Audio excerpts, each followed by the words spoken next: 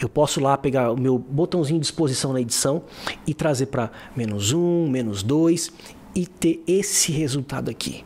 Impecável esse resultado. Impecável, ficou muito bom.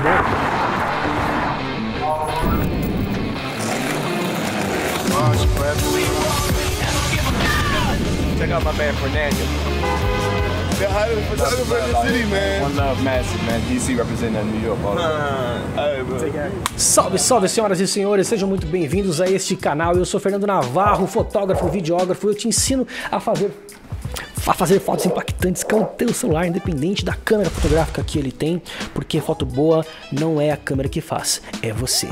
Mais conhecimento, menos equipamento. No último vídeo eu comecei a falar sobre as siglas, cara, só que ficou tão comprido esse vídeo que eu resolvi gravar, que eu resolvi, que eu resolvi gravar este vídeo aqui. Vamos que vamos. Já deixa o seu like, se, se inscreve nesse canal, porque assim o YouTube vai dizer: "Meu Deus, que esse vídeo é muito legal, as pessoas estão deixando like, vou entregar para as mais pessoas". Se eu entrego esse vídeo para mais pessoas, o Navarro vai querer gravar mais e mais vídeos para vocês. Então deixa eu dedo nesse like. WB, WB é Walter Belford, o criador, mentira, WB é White Balance, White Balance, White Balance, White Balance. Eu adoro esse microfone. Eu tô com outro aqui, mas esse aqui é só de reserva. Agora o White Balance, eu vou falar de uma maneira um pouco mais séria. White Balance é o seguinte, vamos aqui ó, em WB. Ele vai medir o balanço de branco. O que que é o balanço de branco? Por exemplo, eu estou aqui nessa sala, tem algumas luzes ali. A Sabrina já capotou aqui. Quando eu estou contra a luz, eu tenho um tipo de iluminação. Eu tenho uma temperatura de luz. Quando eu mudo o celular a favor da luz, tá? Aqui tá contra a luz, agora aqui tá a favor. A temperatura da minha imagem, ela vai mudar. Então, o white balance, você vem aqui e seleciona a que você quer para o tipo de local que você está fotografando. Como funciona isso? Eu não vou entrar a fundo nesse questionamento aqui agora, porque isso aqui merece um vídeo só para ele, tá? Mas white balance é exatamente a medição de temperatura. Eu vou pegar essa minha luz aqui e eu vou mexer na temperatura. Vou deixar mais fria, mais quente. Ó, ficou mais quente. E agora vou deixar ela mais fria. Eu estou mexendo na temperatura da luz, tá? Normalmente quando as pessoas vão fotografar, e agora qual a temperatura que tava? 4,600? Eu acho que era 4,600. Quando as pessoas vão fotografar, elas se perdem e algumas fotos ficam com tonalidades diferentes. E aí na hora da edição, cara, pode complicar. Então em alguns momentos é bacana usar a temperatura automática sim, mas em outros momentos é bom que você regule o branco, regule o branco da sua foto tá bom? E obviamente ele tem aqui algumas opções, né? Ah, você está lá no sol, use, clica lá no solzinho. Ah, você está num dia nublado, use a luz, aqui a opção do dia nublado. Você está é, na luz de tungstênio, você use essa luz, essa opção aqui. Na maioria das vezes, eu, Fernando Navarro, eu fotografo no automático. DNG, cara, DNG é o Digital Negative arquivo digital negativo. O DNG é o seguinte, ele vai estar sempre ao lado do JPEG, JPEG ou arquivo RAW, RAW. Esse arquivo RAW, ele é o DNG. Tem uma pequena diferença DNG e RAW, mas vamos ficar por assim. O DNG, ele é o arquivo cru da, da sua foto. Ele é melhor que o JPEG. Ele é bem melhor que o JPEG. Por exemplo, olha essa foto aqui, velho. Essa foto eu fiz com uma câmera fotográfica, mas eu quero que você entenda o seguinte: no celular é a mesma coisa, só que a diferença é que as câmeras são mais poderosas do que os celulares. Então a diferença de um arquivo DNG para um arquivo JPEG são maiores nas câmeras fotográficas do que nos celulares. Se você fotografa em DNG, você tem muito mais informação na sua foto, só que sua foto fica muito mais pesada. Então, não fotografe em DNG se você não quer extrema qualidade e não fotografe em DNG se você não tem espaço. Essa foto aqui, cara, ela tá extremamente clara. Eu errei, eu caguei na hora de fazer foto com a câmera fotográfica. Só que daí, como eu fiz essa foto em DNG, eu tenho a possibilidade de ajustar. Eu posso lá pegar o meu botãozinho de exposição na edição e trazer para menos um, menos dois e ter esse resultado aqui. Impecável esse resultado. Impecável, ficou muito bom. Ainda ficou um pouco claro assim nos narizes, ficou realce um pouquinho demais. Mas eu recuperei a minha foto porque eu, é, porque eu cliquei essa foto em DNG. Agora, quando eu clico na minha câmera fotográfica, eu também crio um arquivo JPEG, ou seja, eu faço o RAW mais JPEG ou DNG mais JPEG. Eu crio dois arquivos, tá? E esses arquivos vêm para o meu cartão de memória, tá? No celular é a mesma coisa. Só que acontece, olha o arquivo JPEG, o que acontece. E aí o JPEG a gente vai para outra sigla. JPEG significa Joint Photographic Experts Group. Cara, basicamente é um arquivo que você faz na foto, na, na, tua câmera, você vai lá, faz a foto e ele já sai pronto. Olha, Navarro, que bonitinho. Pode postar a sua foto em JPEG, pois ela está bem leve, já está com cor, já está com contraste, já está com sombra, já está com exposição regulada e esse é o teu arquivo JPEG. E olha só, cara, o JPEG ele é um pouco inferior ao RAWF que tem nos iPhones e tem outros celulares também. E aí você me pergunta, ah, Navarro, no meu celular tem o RAWF. O que, é o RAWF? É o JPEG melhorado, basicamente basicamente. Beleza? Combinado até aqui? Então é o seguinte, cara. Olha essa foto aqui, velho, em JPEG, mano tá estourada também. Aí eu fui lá e fui mexer na. Igual eu fiz na, na foto em DNG, eu fui diminuir a exposição para ver se eu recuperava essa foto. Olha que cagada que ficou, velho. Ficou muito ruim, mano. Por quê? Porque eu fiz em, DN, em JPEG, velho. Porque eu fiz em JPEG e eu errei. Agora, olha a foto em DNG corrigida e olha a foto em JPEG corrigida. Olha a diferença. Escolha sempre fotografar em DNG se você precisa de boa qualidade para sua foto. Se você não precisa de boa qualidade, ah, tá numa viagem aí, quer ocupar pouco espaço, você não tá nem aí para edição, fotografe em JPEG, tá tudo certo, você vai lá edita suas fotos em JPEG. Navarro quer dizer então que eu não posso fazer fotos em JPEG? Pode, velho. Eu já fiz fotos excelentes em JPEG e você também pode fazer, mas aí você não pode errar tá? E a sua edição, por mais que você acerte a sua foto, você vai ter pouca margem de edição, você não vai conseguir criar muito. E se você não consegue criar, você não chama atenção no seu Instagram, ninguém vai estar tá nem aí para suas fotos. E a gente quer que o seu Instagram bombe, não é verdade? E tenha muita gente ali circulando para que você seja cada vez mais reconhecido. Meu Deus, cara, quanto conteúdo, mano. Deixa o like, com comenta aí se você está gostando. Se você sabia, se você não o que, que você não sabia aqui? Falar, ah, Navarro, não sabia disso aqui. Pergunta também qual outra sigla que você quer saber. Pergunta e deixa o seu like. Tá gravando ainda? Beleza. Entendido até aqui? Eu acho que eu falei tudo, cara. Eu espero que eu tenha falado tudo. Vamos lá. RGB, Red, Blue e Green. RGB. Ah, não, fiz ao contrário. É Red, Green and Blue. São as cores principais de uma fotografia. A partir dela, todas as outras cores são formadas. Bloqueio AE, esse númerozinho aqui, cara. O que, que é esse bloqueio AE? Você tem no teu celular isso aí? Se você não tem no teu celular, fique, não fique triste, mas vamos lá. Bloqueio AE, esse AE é de Auto Exposure. A exposição, cara, tá bloqueada. A exposição auto exposure, auto -expo a exposição automática tá bloqueada. Ou seja, se eu virar o celular para qualquer lugar, a exposição não vai mudar, Olha só, a exposição está bloqueada. Aí, se eu tocar na tela agora, vou tocar na tela, desbloqueou. E aí, a luz vai mudar. Olha só, a luz muda conforme eu mudo aqui tá bom? Então, você, quando você quer manter uma luz, você bloqueia. Isso é muito bacana quando você quer fotografar no, ao pôr do sol, por exemplo, e você não consegue ali é, aparecer que aquela pessoa apareça direito, você aumenta, clica na tela assim, aí você leva um pouquinho para cima para a pessoa aparecer um pouquinho mais e você faz a sua foto. Se a pessoa mudar, se a pessoa andar para lá, para cá, para lá, para cá, você vai conseguir porque a exposição está bloqueada. E se eu virar agora para lá o celular, o que, que vai acontecer? Eu vou ter a opção, se eu segurar o dedo apertado aqui, ó, vou ter a opção de AE-AF, mano.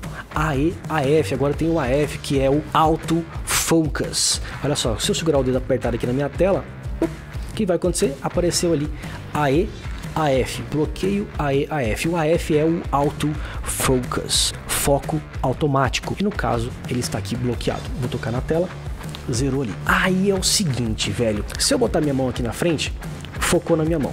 Se eu tiro, focou lá atrás. Eu boto a mão na minha frente, foca na minha mão, eu tiro, foca lá atrás. Então, se eu tocar na tela aqui, vou botar minha mão na frente, se eu tocar na tela e segurar apertado, eu bloqueei o AE e o AF. E aí é o seguinte, ó, eu foquei e bloqueei. Se eu tirar o dedo, vai continuar focado aqui na minha mão. Tá bloqueado, tá, blo tá bloqueado, mano. Então você usa esse autofocus e esse auto é, quando você quiser ter mais controle da sua imagem. É como se você estivesse se fotografando no modo manual. É, quando você, como se você estivesse no modo manual, mexendo no modo automático do teu celular. E cara, isso é impressionante. Você já sabia disso? Você sabia que dá para fazer isso no teu celular? Cara, que demais. Se você quer saber como usar isso aqui na prática, comenta na vá, quero ver isso aqui na prática, que você me ensine mais sobre isso aí. Eu vou te, eu vou te ensinar sobre isso aí, tá bom? E se você tiver a sorte de estar tá rolando a semana da fotografia do celular ou outro evento onde eu ensino muito mais do que eu ensino aqui no YouTube, o link vai estar tá aqui embaixo para você clicar e se cadastrar. É gratuito, eu ensino muita, muita coisa, mano. DOF, Deep of Field, profundidade de campo. Cara, isso que tem no seu celular e você não sabia. Na verdade, se você tem aqui no teu celular o modo profundidade, você faz uma foto com profundidade. Tá, vou escolher aqui na minha mão, tá mandando me afastar, deixa eu escolher aqui. Vou fazer a foto aqui. Bom, e fiz a foto. Agora eu vou abrir a minha imagem, eu vou aqui em editar e vai ter aqui em cima, ó, aqui em cima aqui, tem ali um F9.0. Essa é a abertura do diafragma, ok? Essa é a abertura do diafragma e isso aqui é software, isso aqui não é real. Então o que acontece aqui é o seguinte, eu vou clicar aqui nesse 9.0, tá? Que é a abertura do diafragma, já falei sobre isso. E aqui eu tenho a opção de ou eu desfoco mais o fundo, tá? Ou eu tiro o desfoque do fundo. Consegue observar? Ó, mais desfoque de fundo, menos desfoque. Isso aqui é exatamente para você entender sobre o que eu falei antes, uh, sobre a abertura do diafragma. Aí o que acontece? Profundidade de campo rasa. Olha só, vou colocar aqui em F1.4. F1.4 é a profundidade rasa. Você vê, você vê pouco. Se você vê pouco do fundo, você vê baixo. Você vê baixo, profundidade baixa, profundidade rasa, ok? Não tô vendo muito o meu o fundo ali da imagem. Baixa. Quando eu vejo muito do fundo, é profundidade alta. Estou vendo mais coisas, tá bom? Então, isso aqui tem na câmera fotográfica, só que aqui é por software e só na edição. Você não controla no celular na hora da fotografia, ok? E não são todos os celulares que tem, obviamente, tá bom? Então, quanto mais baixa for a profundidade, mais vai desfocar o fundo. Ou seja, olha só que louco, olha só que louco. Cara, faz a ligação com o que eu disse antes. F1.4, o buraco é bem grande no diafragma e F16 é bem pequenininho. Agora você sabe que com um buraco maior do diafragma, o fundo fica mais desfocado, e com o buraco menor do diafragma, o fundo desfoca menos. É por isso que nas câmeras fotográficas desfoca bem o fundo. Por quê? Porque a lente, a câmera é maior tá bom? Ou seja, o buraco é maior e aí desfoca mais o fundo, mano.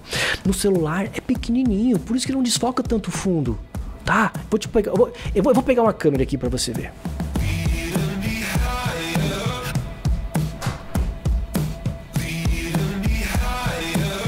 Eu falei que ia pegar câmera, mas na verdade são as lentes, né?